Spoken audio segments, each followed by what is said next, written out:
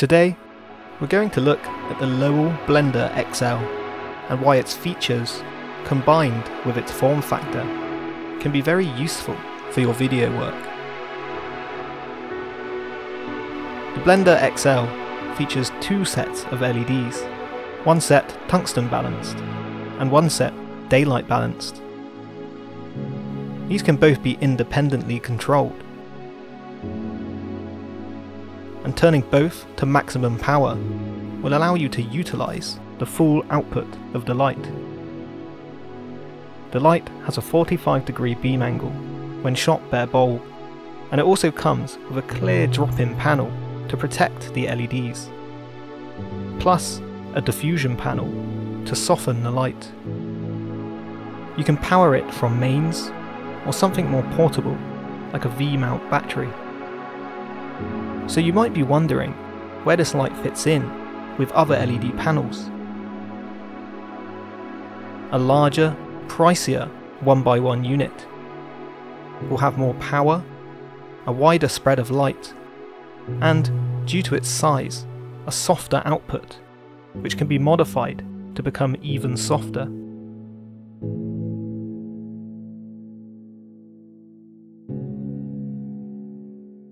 A smaller, pocket-sized panel will have less power, but will generally also have an internal battery, making it very convenient for hiding in out-of-the-way places with no cables.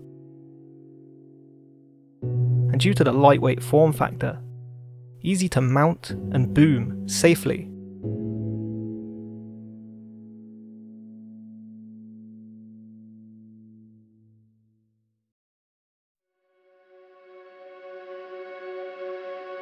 So what advantages does the Blender XL give us over the other two units? One of the features that makes the Blender XL stand out from the other lights is the previously mentioned 45 degree beam angle. Let's set up a simple studio lighting situation so we can see clearly why this beam angle is useful. We want to create a moody look with a dark background and some soft, yet punchy, light on our subject. And we're going to do that by firing our light through some diffusion material. So let's jump straight in with the Blender XL.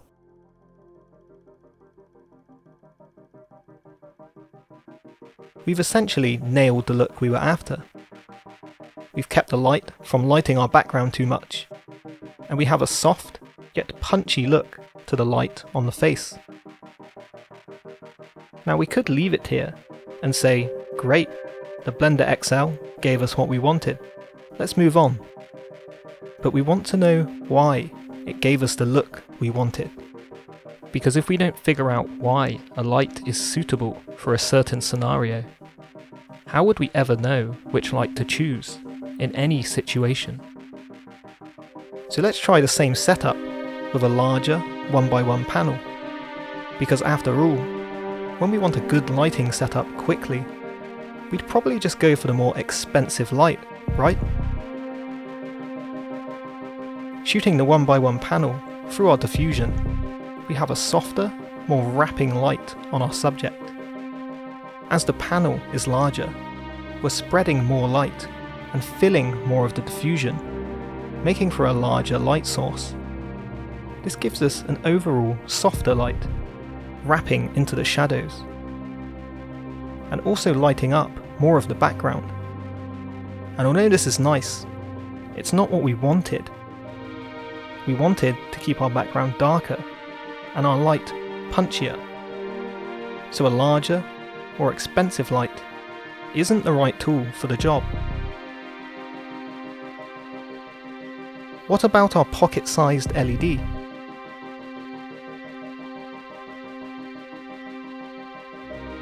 We definitely have the size advantage here, taking up much less space than our larger 1x1. But this is definitely underexposed. Keeping our camera settings the same as before, you can see just how much output we lose when we shoot with a smaller light like this, especially when shooting through diffusion. So jumping back to the Blender XL, we can see how it was perfect for the shot we had in mind.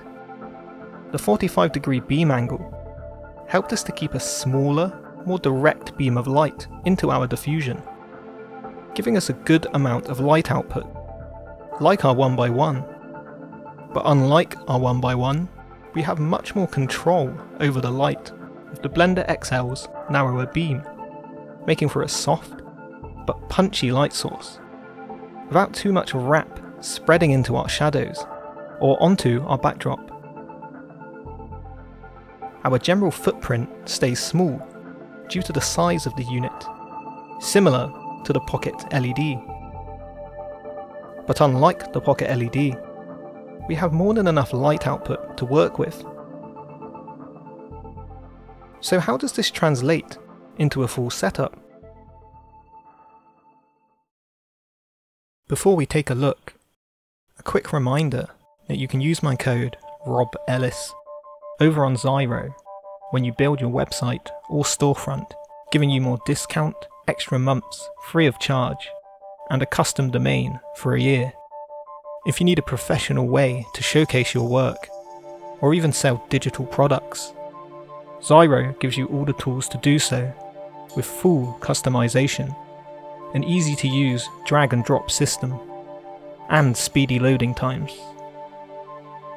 Use my code ROBELLIS or click on the link in the video description to get up to 71% off your website or storefront with free extra months free with 1 year, 2 year or 4 year plans along with a custom domain for a year.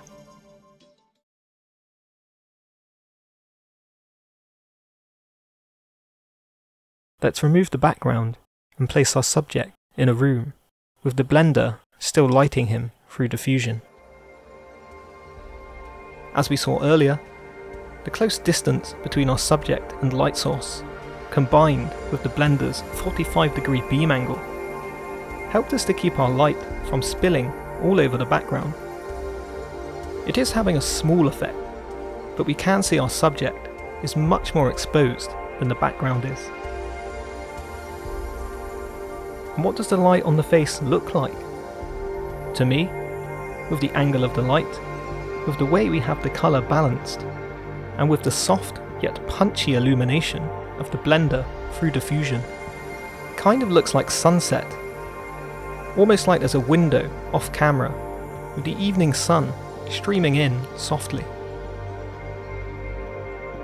Now because we don't have lots of light spill onto the background, we have the freedom to shape the light on the back wall any way we want, without needing to implement any extra tools to take down exposure on the back wall, or deepen the shadows on our subject like we would have needed to do with a larger 1x1 panel. So let's do something with this background to match up with our sunset key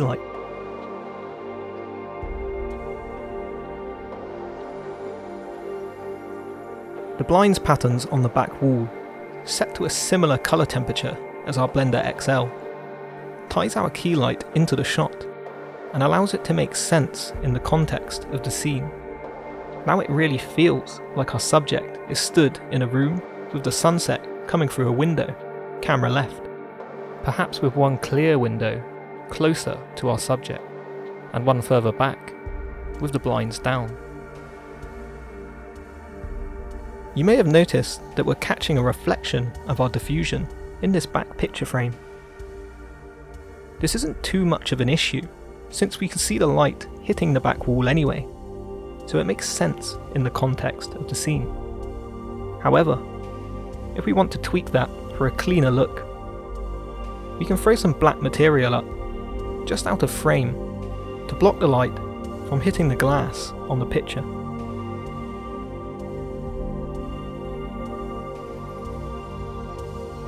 So you can see how the differentiating features of the Blender XL, in comparison to a smaller and bigger LED panel, allowed us to take advantage of the blender for this little scene, making the 45 degree beam angle a perfect fit for this scenario. The tighter beam angle of the Blender XL can also help us with things like bounce.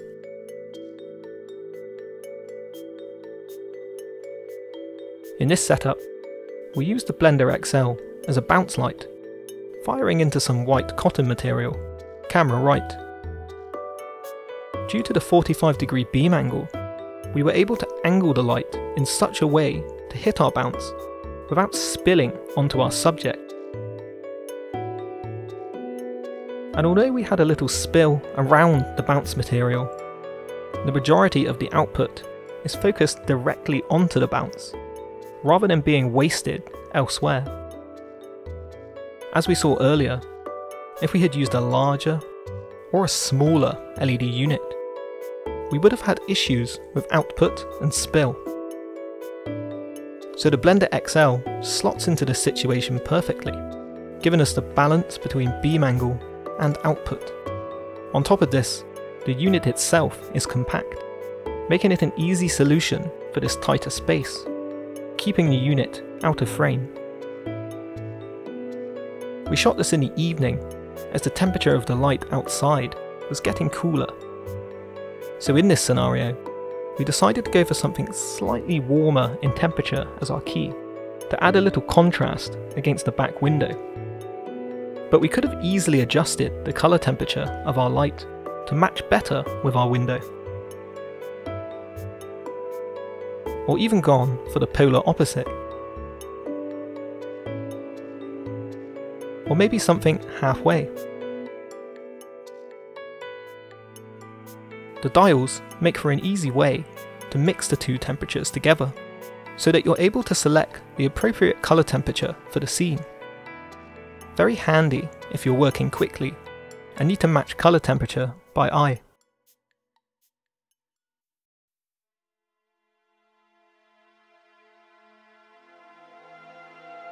We utilised the Blender XL and the diffusion panel in this clip to recreate the feeling of morning sun coming through the window. Although the diffusion panel does soften the light from the unit, you're still working with a relatively small light source, which makes it perfect for small spaces like this, when you need to replicate a harder light source like the sun, but you want to take a bit of the edge off.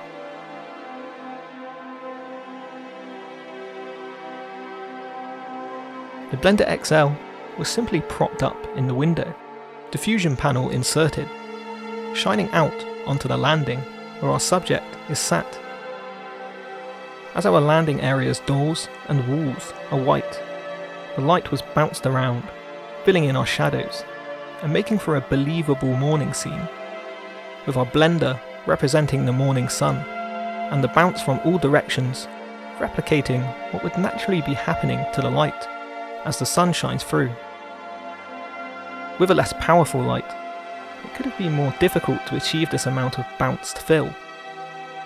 With a more powerful light, we would have struggled to fit it into the windowsill. So the Blender XL was the perfect tool for the job.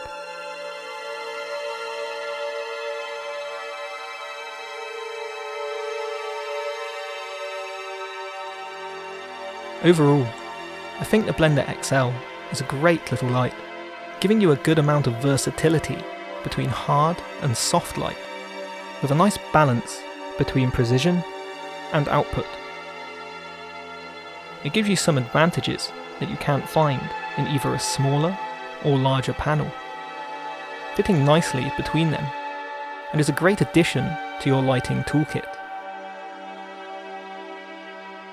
Patrons get an ad-free, extended version of this video, along with a bunch of exclusive breakdowns and extra content.